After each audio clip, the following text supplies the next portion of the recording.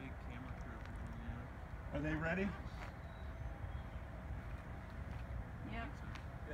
Three, two, one, go. Just tell me when they're coming. Now. Thanks, guys.